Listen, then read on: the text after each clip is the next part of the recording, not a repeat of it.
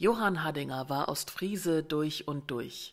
Geboren 1934 in Norden, war seine Kindheit geprägt vom Nationalsozialismus, dessen Aufarbeitung sollte eines der Hauptthemen des leidenschaftlichen Journalisten werden.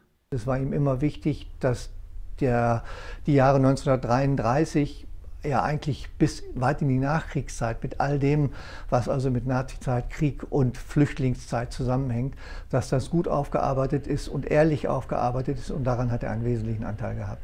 Bücher, Aufsätze und unzählige Zeitungsartikel zum Thema hat der ehemalige Chefredakteur des Ostfriesischen Kuriers veröffentlicht.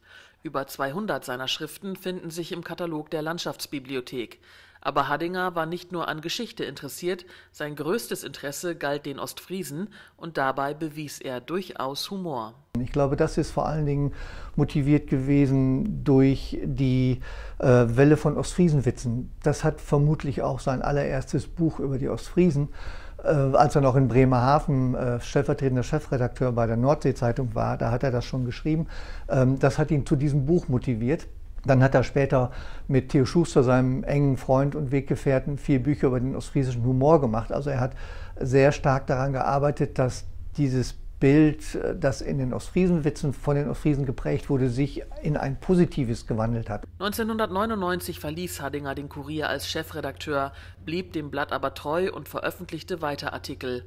Im Ruhestand widmete er sich aber auch der ostfriesischen Landschaft.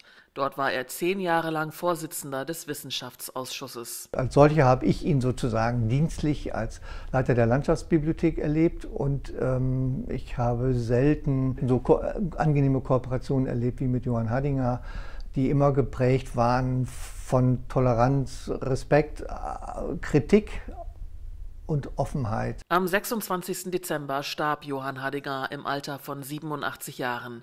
Was bleibt, sind seine Publikationen, an denen niemand, der sich mit ostfriesischer Geschichte auseinandersetzt, vorbeikommen wird. Von daher denke ich, hat er sich selber auf diese Art und Weise schon ein großes Denkmal gesetzt.